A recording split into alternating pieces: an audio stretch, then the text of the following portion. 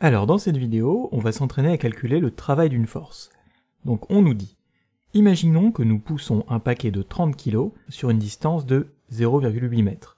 La force de friction qui s'oppose à notre force est de 5 N. Première question, calculer le travail total fait sur le paquet. Donc pour calculer le travail d'une force, on va utiliser la formule suivante, qui est le travail de la force, donc W, parce que c'est égal à work en anglais, c'est égal à la force par la distance par le cosinus de l'angle. Donc le principe c'est qu'on va additionner toutes nos forces, on va multiplier par la distance qui nous est donnée, et multiplier par l'angle qui nous est donné. Donc en additionnant toutes nos forces, ça nous donne 120 newtons dans le sens positif, donc plus 120 newtons, moins 5 newtons, puisque c'est dans le sens vers la gauche, donc c'est négatif. Donc ça c'est notre force totale on multiplie par la distance qui nous est donnée, c'est-à-dire 0,8 mètres, et on multiplie par le cosinus, alors notre angle il est ici de 0 degré, et le cosinus de notre angle, c'est-à-dire le cosinus de 0 degré, c'est égal à 1. Donc en fait on va pouvoir ignorer ici l'angle puisque c'est simplement multiplié par 1, ça ne change rien à notre calcul.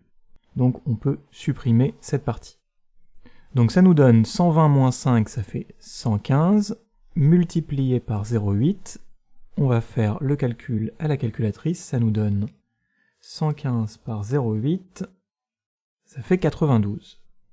Donc notre travail ici, pour répondre à la première question, il est égal à 92 joules.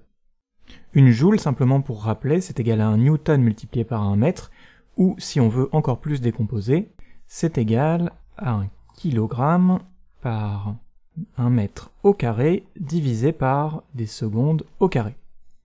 Donc ça c'est notre unité, le joule. Et on a répondu à la première question, donc le travail total fait sur le paquet, il est égal à 92 joules. Ensuite on nous demande, résolvez le même problème que dans la question A, en utilisant cette fois le travail fait par chacune des forces qui contribuent à la force totale. Donc plutôt que de prendre la force totale en faisant directement l'addition 120 moins 5 newtons, eh bien ici on va faire le travail pour chacune de ces forces et voir si notre force totale et notre travail total, ça correspond à ce que l'on a calculé précédemment. Donc le travail qui est opéré vers la droite, ça va être 120 newtons, c'est notre force opérée vers la droite, par la distance, c'est-à-dire 0,8 mètres, ça ça ne change pas, et notre angle, c'est le même angle que dans la question précédente, c'est un angle de 0 degré, donc on peut multiplier par 1, c'est-à-dire on peut l'ignorer. Alors 120 multiplié par 0,8, ça nous donne 96. Donc ici notre travail vers la droite, il est égal à 96 joules. Et on va maintenant calculer le travail opéré par la force sur notre gauche, c'est-à-dire 5 newtons, multiplié par la distance, elle est toujours de 0,8, mètres. Et là, par contre, notre angle, il va un petit peu changer puisqu'il s'agit plus d'un angle de 0, mais comme notre force, elle est dirigée vers la gauche, ça va être un angle complètement opposé, c'est-à-dire un angle de 180 degrés.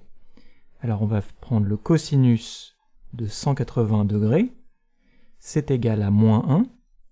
Donc simplement, en multipliant par moins 1, on va rajouter un signe négatif à notre résultat. Ce qui nous donne 5 par 0,8, ça nous donne 4, donc 4 joules, et en n'oubliant pas le signe négatif, moins 4 joules. Donc on a le travail opéré par chacune des forces, maintenant on va additionner ces deux résultats, ça nous donne 96 joules moins 4 joules, ce qui correspond bien au résultat qu'on a trouvé précédemment, 92 joules. Donc les deux méthodes fonctionnent, soit on additionne les deux forces en amont, soit on calcule le travail de chaque force et on additionne les résultats. Les deux, méthodes euh, donnent le même résultat, donc c'est euh, la méthode que vous préférez. Voilà, j'espère que ça aura pu vous aider. Si c'est le cas, n'hésitez pas à laisser un j'aime et à vous abonner, et puis on se voit dans une prochaine vidéo.